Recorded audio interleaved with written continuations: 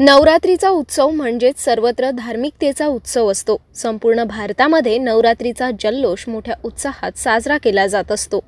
अमरावती जिल्ह्यात सुद्धा मोठ्या उत्साहात हा नऊ दिवसाचा धार्मिक उत्सव साजरा केला जात असतो.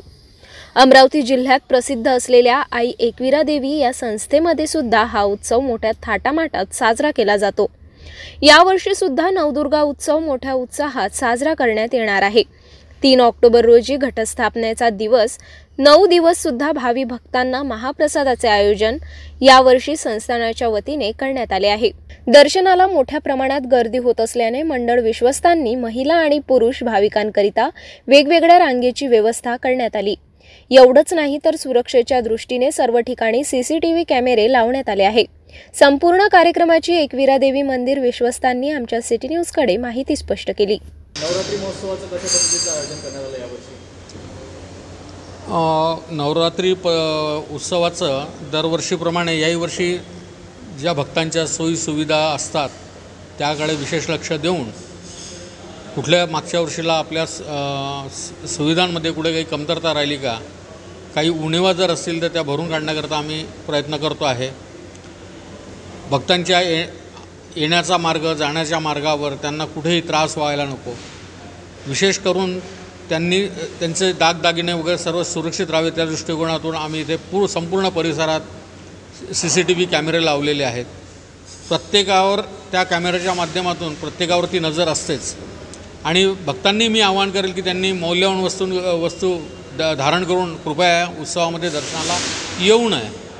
तसेच इथे आपल्या इथे महाप्रसाद असतो. भोजन प्रसाद आपण दरवर्षी नवरात्रात नऊ दिवस हा संस्थेतर्फे निशुल्क पद्धतीने करतो.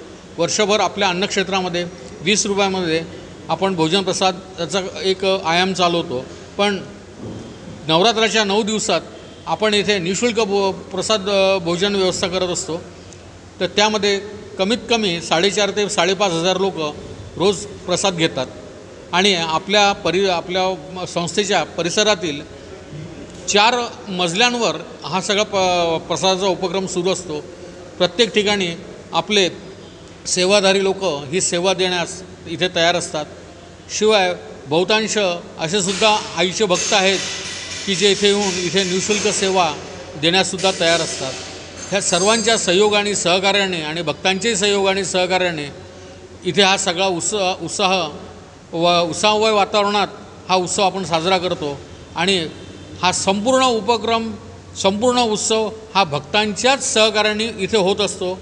त्यामुळे मी येणाऱ्या नवरात्राबद्दल येणाऱ्या सर्व भावी भक्तांना नवरात्रीच्या खूप खूप शुभेच्छा देतो आणि संस्थेला असे असतं सहयोग आणि सहकार्य करावं अशी मी त्यांना विनंती करतो. धन्यवाद.